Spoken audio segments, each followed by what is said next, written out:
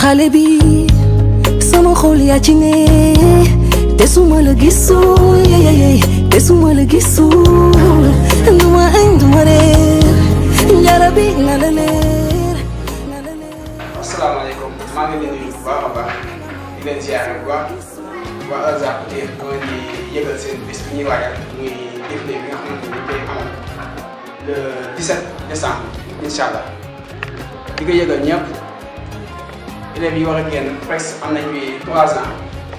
formation moom yëgal ñi nga xamante ne tey seen i parents yi nga xamante